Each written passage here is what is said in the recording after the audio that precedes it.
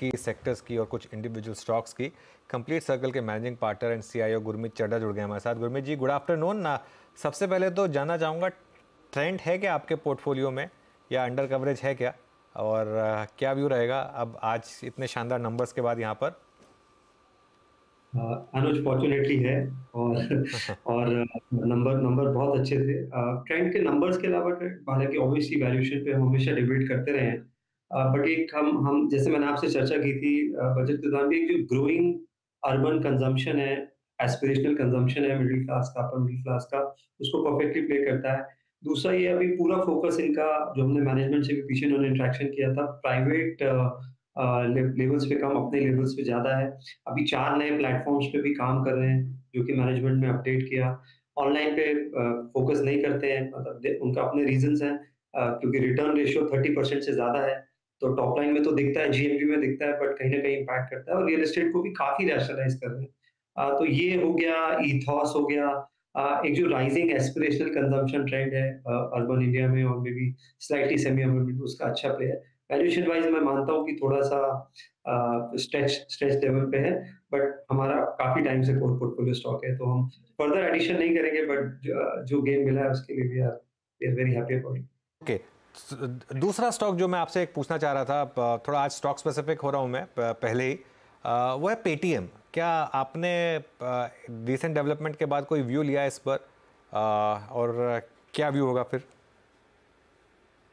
अनुज, मेरा ये मानना है कि जब भी रेगुलेटरी इंटरवेंशन होता है, चाहे वो पीछे यस बैंक में हुआ हो या कुछ एनबीएफसी में जिसमें काफ़ी रेगुलेटर स्ट्रांगली एक्ट किया था चाहे वो डीएचएफएल है वहाँ पे वेट करना चाहिए इवेंट्स को अनफोल्ड होने में। हमें नहीं पता है कि पेमेंट बैंक लाइसेंस कैंसिल होगा, उसका बोर्ड सुपरसीड होगा, नहीं होगा। तो ये ये एक तरीके से स्पेकुलेशन हो जाता है कि स्टॉक गिर गया है चालीस पचास परसेंट इसलिए एंटर करना चाहिए। आप चाहे तो एक एक यू नो जिसे कहते हैं हम ब्लाइंड कॉल ले सकते हैं। बट मेरा मानना है कि रेगुलेटरी केसेस में इवेंट को पूरा हो जाना चाहिए क्योंकि अगर फॉर एग्जांपल नहीं रहता है payment banking licence board supersede होता है हमें पता नहीं है कि क्या होगा इक्विटी डायल्यूशन होगा कैसे होगा वो समझना पड़ेगा और फिर ये अगर अगर minus wallet and payments bank ये एक नॉर्मल फाइनेंशियल ब्रोकर डिस्ट्रीब्यूटर है जाता बिल्कुल। तो, गुरमीत गुरमीत एक सेकंड में सॉरी एक सेकंड में आ रहा हूँ आपके पास गुरमीत सॉरी एक सेकंड में।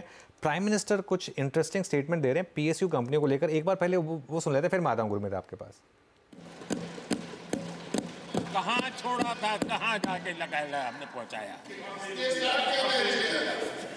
आदरणीय सभापति जी एक कमांडो जहाँ नहीं है एलआईसी को लेकर भी पता नहीं कैसे कैसे बड़े विद्वत्तापूर्ण बयान देते थे। एलआईसी का, ऐसा हो गया एलआईसी का, वैसा हो गया एलआईसी का, यूँ हो गया। जितनी गलत बातें एलआईसी को ले बोलनी चाहिए बोली और तरीका यही है, किसी को बर्बाद करने, अफवाह फैलाओ, झूठ फैलाओ, भ्रम फैलाओ, और और टेक्निक भाई है, गाँवों में किसी का बड़ा बंगलो हो, लेने का मन करता हो लेकिन हाथ ना लगता हो तो फिर हवा फैला देते। ये भूतिया बंगला है, यहाँ जो जाता है, ऐसी हवा फैला देते, कोई लेता नहीं, फिर पैदा करके लपक लेते। L I C L I सी क्या क्या चलाया? आदरणीय सभापति जी, मैं सीना तान करके सुनाना चाहता हूँ। आँखें ऊँची करके सुनाना चाहता हूँ।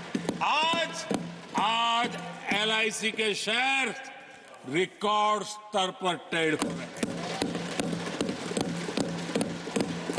क्यों आदरणीय सभापति जी, अब प्रचार किया जा रहा है। पीएसयू बंद हो गए, पीएसयू बंद हो गए। अब उनको तो याद भी नहीं होगा क्या है।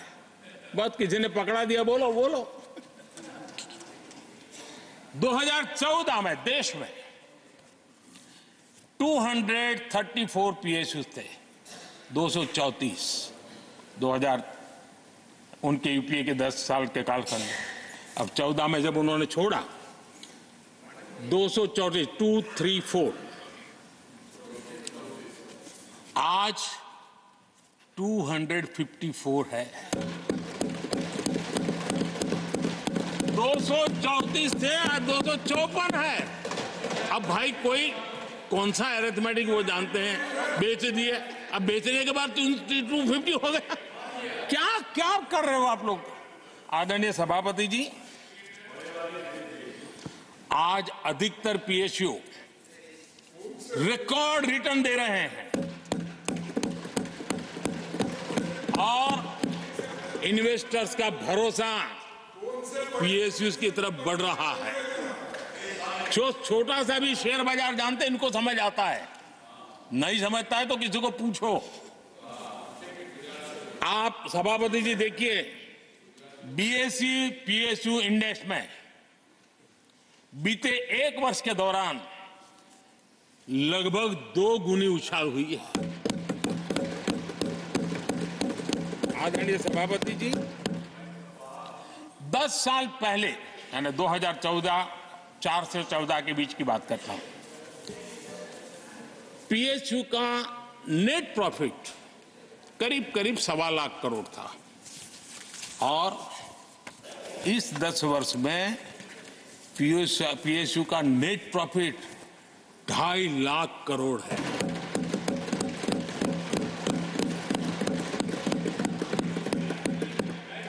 दस वर्ष में हमारे दस वर्ष में पीएसयू की नेट वर्थ 9.5 लाख करोड़ से बढ़कर के 17 लाख करोड़ हो गई है।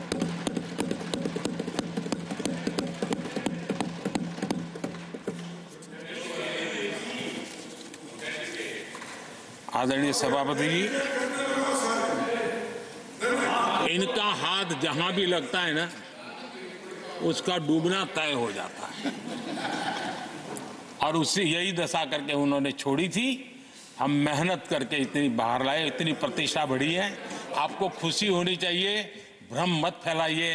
बाज़ार में हरा, हवा ऐसी न फैलाइए कि देश के सामान्य निवेशक के मन को उलझन में आ जाए। ऐसा काम आप नहीं कर सकते।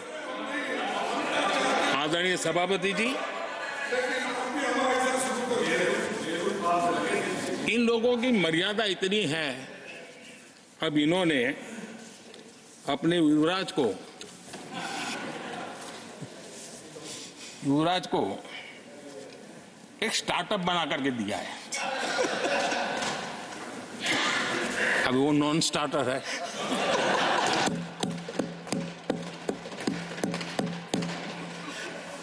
न तो वो लिफ्ट हो रहा है, न वो लॉन्च हो रहा है।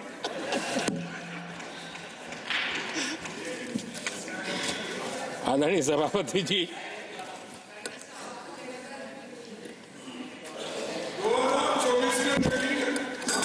आप पिछली बार भी इतनी शांति से रहे हो तो कितना मज़ा आता।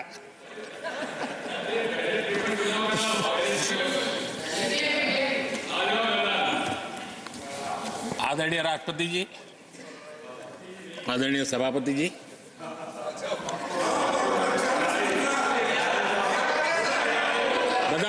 बधाई हो बधाई हो, सबको बधाई हो। आदरणीय सभापति जी, मेरा सौभाग्य रहा कि मुझे लंबे समय तक एक राज्य के मुख्यमंत्री के नाते देश की और जनता की सेवा करने का अवसर मिला। और इसलिए मैं रीजनल एस्पिरेशंस को बहुत भली भांति समझता हूँ, क्योंकि मैं उस प्रोसेस से निकला हूँ। जैसे हमारे यहाँ दिग्विजय जी, उनको भली भांति सहज समझ आता है भी एक राज्य के लिए क्या होता है। हम लोग उस, उसी दुनिया से निकल करके आए हैं। तो हमें अनुभव है, पता है, शरद राव जी को है। तो ऐसे कुछ लोग हैं यहाँ जिनको ये सारी चीज़ों का पता है, देवगढ़ा साहब है। तो इन लोगों के इन सारी चीज़ों का पता है तो हम इसका महात्मा ही समझते हैं। हमें कोई किताबों में नहीं पढ़ना पड़ता है, हम अनुभव कर करके आए हैं। और ये भी सच्चाई है साहब। दस साल यूपीए की पूरी शक्ति गुजरात को क्या कुछ न करने में लगी हुई थी। आप कल्पना नहीं कर सकते। लेकिन मैं आँसू नहीं बहाता। मैं रोना, रो के रो, रोने की मेरी आदत नहीं जी। लेकिन मुझे, लेकिन तब भी, उतने संकटों के बावजूद भी, उतने जुल्म के बाद भी हर प्रकार की मुसीबतों को झेलते हुए भी, मेरी तो मुसीबत ऐसी थी कि यहाँ किसी मिनिस्टर से मुझे अपॉइंटमेंट नहीं मिलती थी। वो कहते थे, भाई, आप जानते हो मेरी तो दोस्ती है, मैं फ़ोन पे बात कर लूँगा, लेकिन कहीं फ़ोटो वोटो निकल गए ये डर रहता था। यहाँ मंत्रियों का डर ऐसा था। अब खैर, उनकी मुसीबतें मैं समझ सकता हूँ। मेरे यहाँ एक बार बहुत प्राकृतिक आपदा आई मैंने उस समय प्रधानमंत्री जी को बड़ा रिक्वेस्ट किया कि आप आइए। एक बार जरा देख लीजिए। उनका कार्यक्रम बना। फिर साहब एक एडवाइजरी कमेटी बनी थी ना, शायद वहाँ से हुक्म आया। तो कोई हेलीकॉप्टर से हवाई निरीक्षण करे, वो तो मैं समझ सकता हूँ। साहब, वो कार्यक्रम बदल करके साउथ में, किस राज्य में गए तो मुझे याद नहीं रहा आज। और बोले, हम हम हवाई जहाज़ से ऊपर से देख लेंगे, हम गुजरात में नहीं आएँगे। मैं सूरत पहुँचा हुआ था, वो आने वाले थे। मैं जानता हूँ आखिर में क्या हुआ होगा। तो आप कल्पना कर सकते हैं साहब, प्राकृतिक आपदा में भी मैंने ऐसी मुसीबतों को झेला है। लेकिन उसके बावजूद भी, उस समय भी मेरा मंत्र था, आज भी मेरा मंत्र है कि देश के विकास के लिए राज्य का विकास। भारत के विकास के लिए गुजरात का विकास। और हम सबको इसी रास्ते पर चलना चाहिए। ओके okay, तो हर्षदा अब समझ में आया पीएसयू की रैली क्यों हो रही है? इत, इतना बड़ा बुल है पी पीएसयू का मतलब देश के प्रधानमंत्री खुद इतना बड़ा कॉन्फिडेंस दिखा रहे हैं पीएसयू के ऊपर। और वो नंबर्स के साथ बता रहे हैं। हम्म, ऐसा नहीं है मतलब हवा में बातें नहीं हो रही हैं। नंबर्स बताए उन्होंने प्रॉफिट बताया उन्होंने कि लॉस से कितना बड़ा प्रॉफिट बताया है। नेटवर्थ बताया पी का। हाँ। और जो जो बात उन्होंने कही कि फॉर एग्जांपल एलआईसी के बारे में बोला जाता था बाकी कंपनी उसके बारे में बोला जाता था वो बताया प्रधानमंत्री जी ने। प्रधानमंत्री जी ने रीज़न बताए हैं कि क्यों ये पी की जो ये रैली है ये हवा में नहीं आ रही है ये और इस चीज़ को आपको समझना होगा। और स्टॉक्स ने देखिए क्या क्या मतलब रिएक्शन दिया है। पहली बार जब प्रधानमंत्री जी ने बोला था ये चीज़ वहाँ से स्टॉक डबल से ज़्यादा हो गया। मेरे ख्याल से अगर आप देखेंगे जब पिछली बार बात हुई थी और आप देखिए इवन एलआईसी जिसके बारे में बोला था कि उसने बहुत पैसा डिस्ट्रॉय किया अब ये भी चलने लगा। ऑब्वियसली शुरू में नहीं चला था लेकिन अब चलने लगा है। तो विदाउट अ डाउट मतलब बहुत बहुत शानदार मूवी है। इनफैक्ट यही सवाल मैं गुरमीत से पूछने वाली थी। गुरमीत आपने बयान सुने हैं और डेटा पॉइंट्स हम सबके सामने है। स्टॉक प्राइस में एक्शन जो आया है वो हमने देखा है राइड भी किया होगा। आपके पोर्टफोलियो में कितने पीएसयू शेयर हैं और अभी क्या और लेने बनेंगे? क्योंकि देखिए इस तरह के स्टेटमेंट्स आते रहेंगे तो यहाँ पर और तेज़ी हो जाएगी। नहीं और शायद पहली बार है देश का प्रधानमंत्री पीएससी का टीआरआई का टोटल रिटर्न बता रहा है। नेटवर्क की बात कर रहे हैं। हमने हम हम थोड़ा सा लकी रहे एल में जब करीबन पाँच छः सौ के लेवल पे था हमने अपने कुछ नॉन डिस्क्रिशनरी पोर्टफोलियो में ऐड किया क्योंकि पॉइंट फाइव पॉइंट सिक्स की एम्बेडेड वैल्यू पे आ गया था।